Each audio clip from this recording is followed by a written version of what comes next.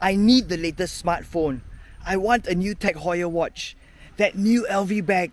Oh, my friends all have it. I need to have one. But do I have enough money? I don't know.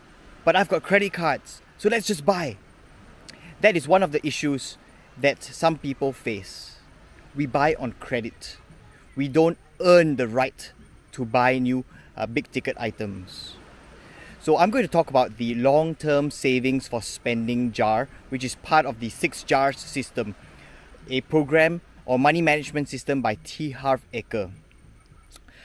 We know that smart investors should plan for spending and they should delay gratification. So these are two concepts that I'm going to cover. And one of them is about how we should put aside some money from everything we earn that goes into this jar. And when we have enough, then only do we spend on these uh, big ticket purchases that we that we want. So I'm not saying that we don't buy them, but we need to earn the right. And sometimes we need to delay the gratification because we don't really need to have it right now. So what are some of these uh, items or these big ticket uh, uh, products that we buy through this LTSS jar? So it could be uh, seasonal gifts. Let's say we are very generous and we want to give nice Christmas gifts to people, or, or Chinese New Year. There comes you know the ang paos. So sometimes people feel oh it's so difficult during this season because I need to spend a lot of money. However, if we had already budgeted for it and already set aside money for this throughout the year, we will not feel the pain come that season. On top of that, we might be uh, setting aside money for the future education of our children. University education is not cheap these days. And what about annual tax? Some of us, we need to pay tax annually on top of what is deducted monthly. So we can use the LTSS jar to set aside some money for that. On top of that, I would say we need to set aside money for emergencies. What happens if your car breaks down? If your roof springs a leak? All of this money needs to come from somewhere. And instead of using our credit cards, we should already have the money at hand to spend on that. Now, let's talk about debt.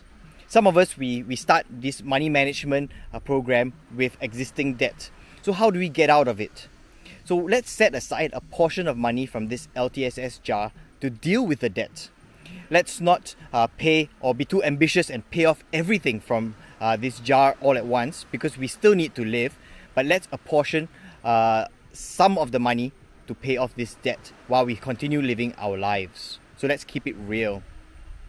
On top of that, you know, the LTSS jar could be used for down payments on something that you intend to buy at some point in your life. It could be uh, putting aside that money for a new car because you know you need one in maybe two years, three years time. So we set aside some money from the LTSS jar. We know you know we have sufficient you know once it's already been topped up to that amount that is needed for the down payment. Or even you know holidays. Let's say you're planning for a, a big europe holiday. You know set aside some money to go towards that uh, that fund from the ltss portion.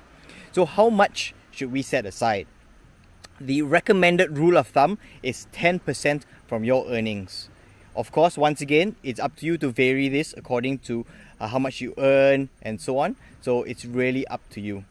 Uh, last tip the LTSS jar should not be used to save up for retirement. We will cover a different jar that uh, takes care of the retirement portion. Alright, happy saving and spending for now. See you guys.